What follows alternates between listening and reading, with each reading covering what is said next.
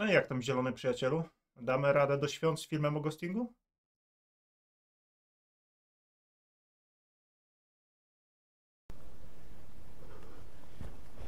Great.